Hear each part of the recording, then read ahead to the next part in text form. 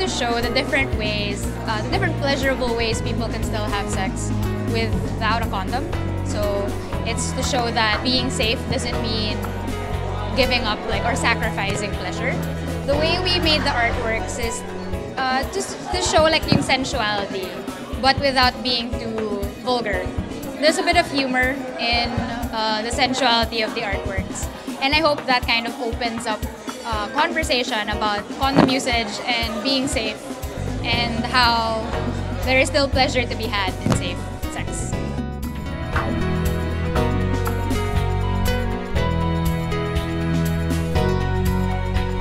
It's provocative, um, in a way ambiguous as well, um, disruptive. So there, there's a lot of mixed emotions that I felt seeing the artworks. In this day and age, I think it's really important to spread the awareness on sex education.